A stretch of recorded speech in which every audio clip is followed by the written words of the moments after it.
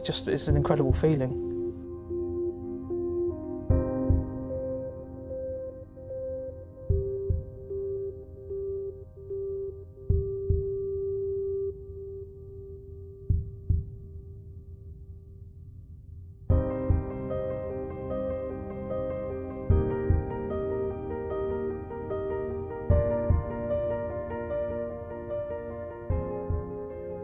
Started CPR, attached the defibrillator, and immediately that advised a shock.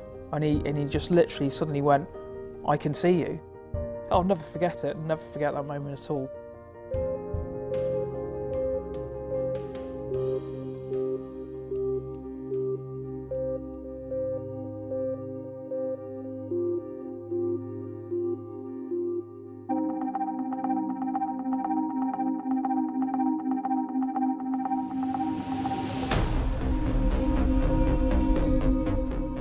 For every minute you don't have defibrillation or uh, CPR, your chance of survival fall by 10%.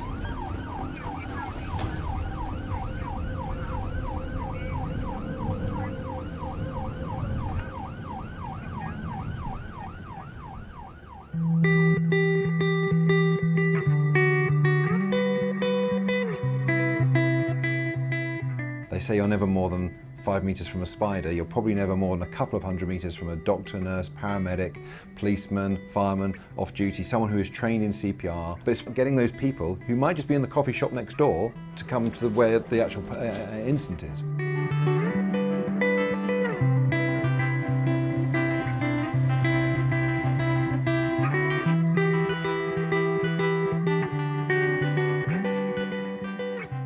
Responders download the Good Sam Responder app and they run that app in the background of their phone. And what that app does is that it collects the GPS location and sends it to us so we know at any given time where the responders are.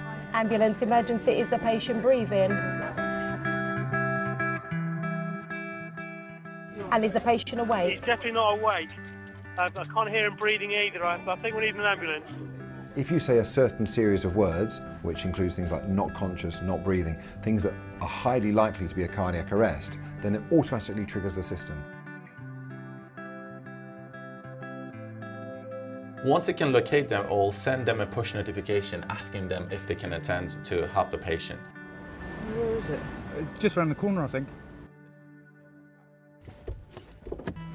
The ambulance is going to still be on the way, but you're going to be there a few minutes earlier, which means in those critical minutes, you can buy the patient oxygen in time for when the ambulance arrives to then provide more definitive care.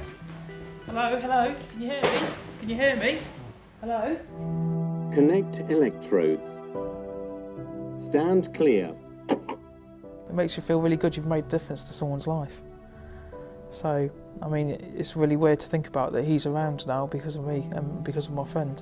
He was telling us about his two young children. They might have been orphaned had we not been there. Be because he was a single parent already? Yeah, yeah. He'd lost his wife, unfortunately, the year before.